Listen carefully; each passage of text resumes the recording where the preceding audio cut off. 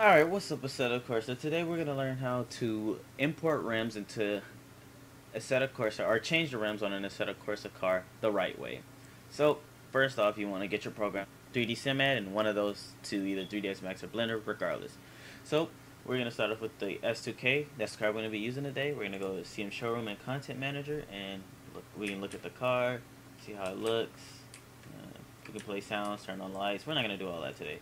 But now you see what rims on the car, and this is what we're starting with.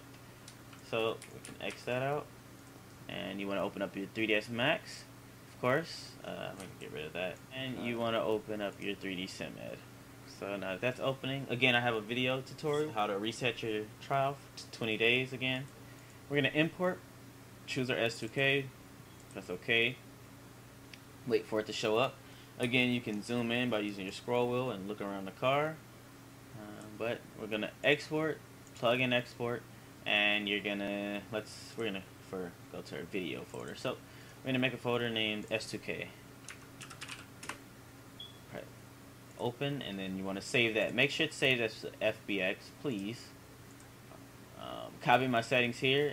Um, make sure you select Create INI. If you do not select Create INI, all of these textures, like the blue you see on here, the black on the wing, the lights, and the rims will not copy over. And wait a second, uh, click export textures.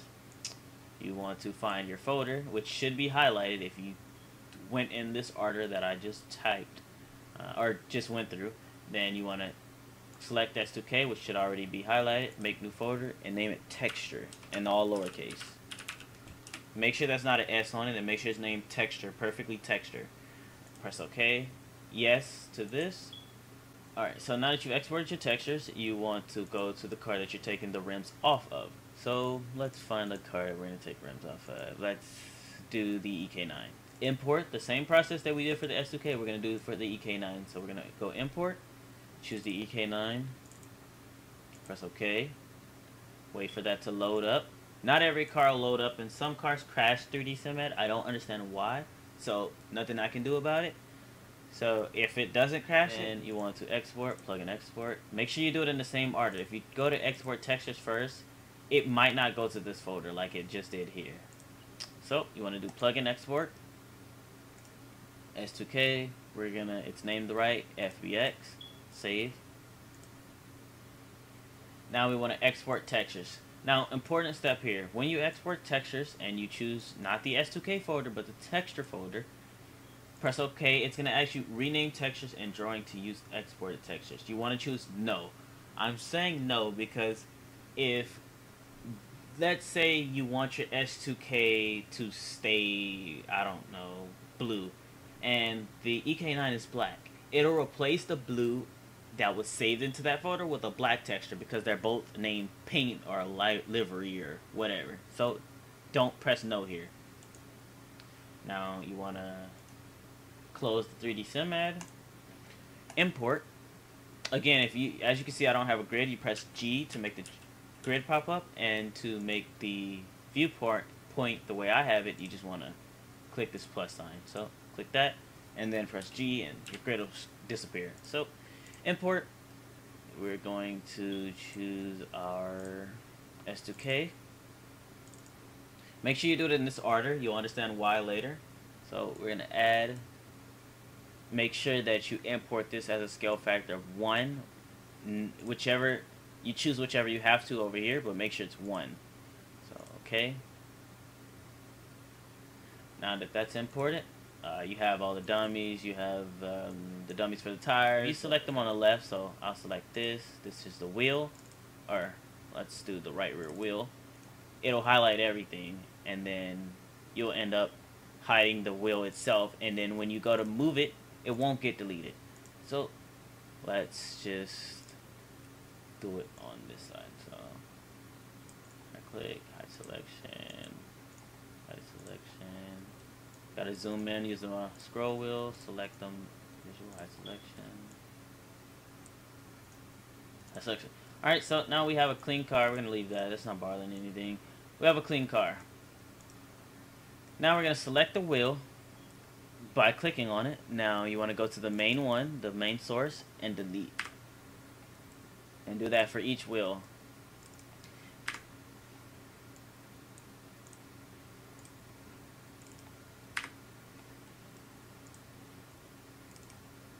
Alright, so I want to keep the same springs and calipers, so I'll keep those there. Now I'm going to import import my EK9, which I'm taking the rims from, Make sure I add, do not add an update because it will replace anything that's named the same. So example, if I have light, for example, if I have lights, it'll replace my lights with whatever lights I import. So don't do that. Now, make sure you have it in a scale factor of 1, same as you did last time. Press OK. While everything is highlighted, you want to move and select and move, and you want to click right there, and you want to move them down or up, whatever you prefer. I prefer down.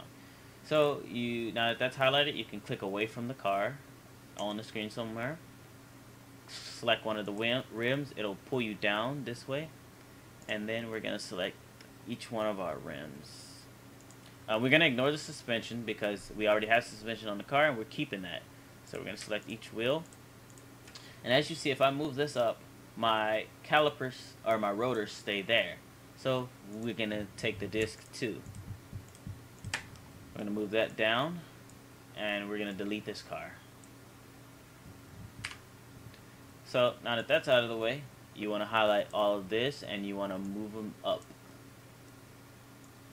So about right there. So now you know it's it's lined up with the car. It's close to the car now.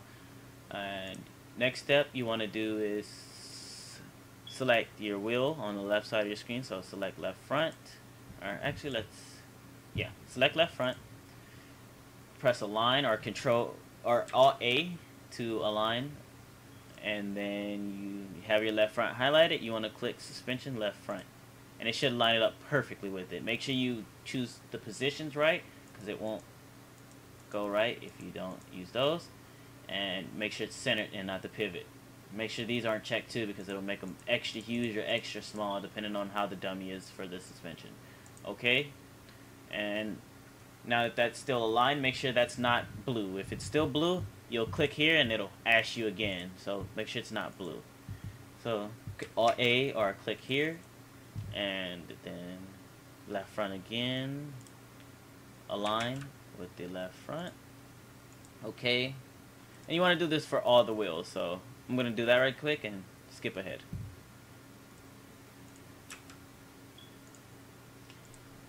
Alright, so now that all of that's aligned, sometimes you'll realize that, and also I should mention that sometimes the disc is inside of the wheel folder, so you won't have to do them for both, you might just have to do it for wheels. So sometimes you'll realize that this isn't lined up perfectly, such as the front right here. All you need to do is select it and just move it over. Line it up perfectly where it should be. Uh, we'll just do that right quick for them.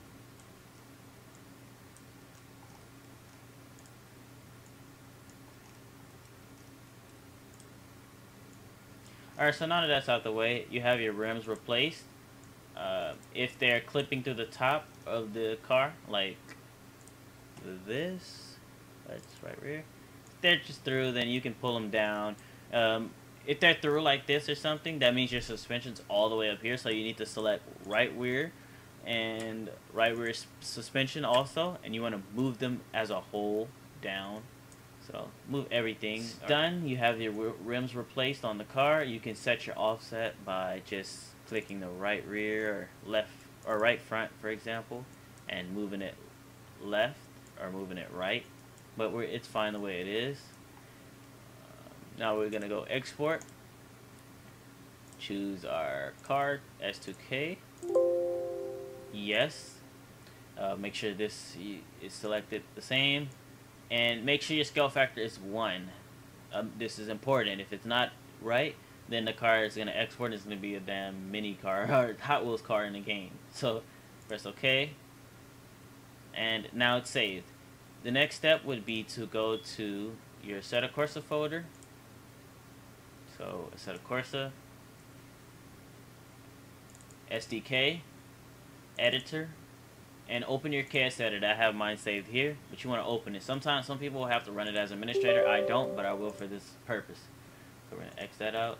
It's already opening.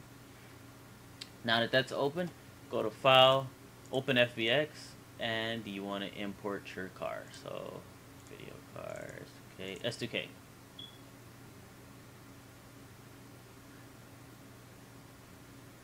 Wait for it to load.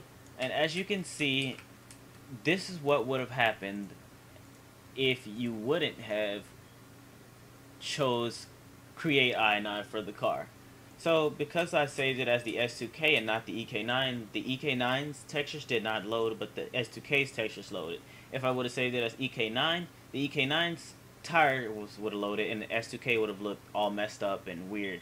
So what you want to do is you want to, if you clicked on something, right clicked on something, then you just want to scroll up, choose model, file, load persistence, and because we create the INI, we can just select the EK9 and the wheels are fixed now.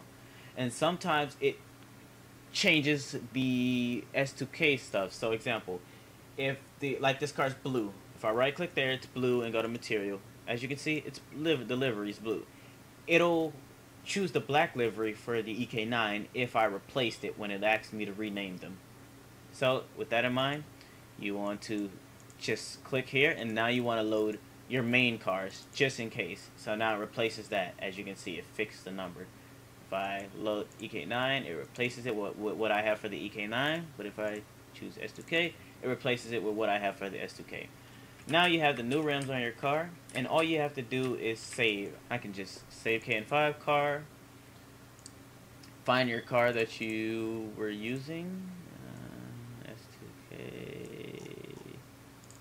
Um, I'm just gonna save this one as my backup or my original, so I'm gonna name it original OG. Okay, and we're to save that as S2K, the original S2K, so save. And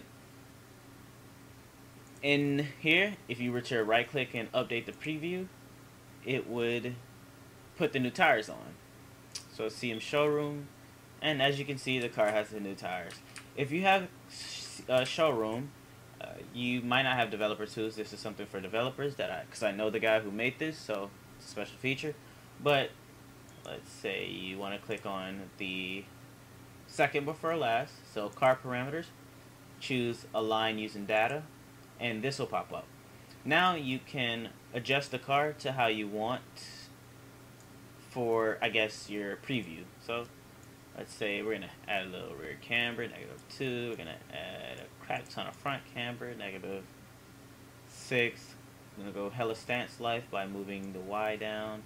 This does not affect the car in game. This is only for the preview. This is what people see when they open up Content Manager. This again, this will not affect the car in game. So you can move the car, can move the tires forward, add a little caster. Again, this does not affect the car in game, and it doesn't affect the suspension physics in quotations. So physics that would work in game. So just for a picture, add a little offset. Looks pretty good. Good enough for a picture. I'll lower it a little bit. Uh, there we go. There we go. Of course, you can add a little steering, but it doesn't look that good in pictures to me. So I'm just to set that back to zero or closest to zero I can get. Okay. Now, make sure you update model. Now, now that you've updated the model, you, you'll see it like flicker a little bit and that means it's updated. Now you can press X and you can right click and update preview. And now you see a car lowered and it has camber, whereas this one has the old rims, it's not lowered and it doesn't have a camber. So that's that. That's how you change the rims on, on any car. If you feel like I missed something, uh, feel free to message me. I'll fix it for you I'll tell you how to fix it. And that's it. Um, I hope you enjoyed. If I missed anything, press put it in the comments and I'll just add it in an update in the video or something. Otherwise, I'm out. I hope you like. Please comment, like, and sub, and have a good week.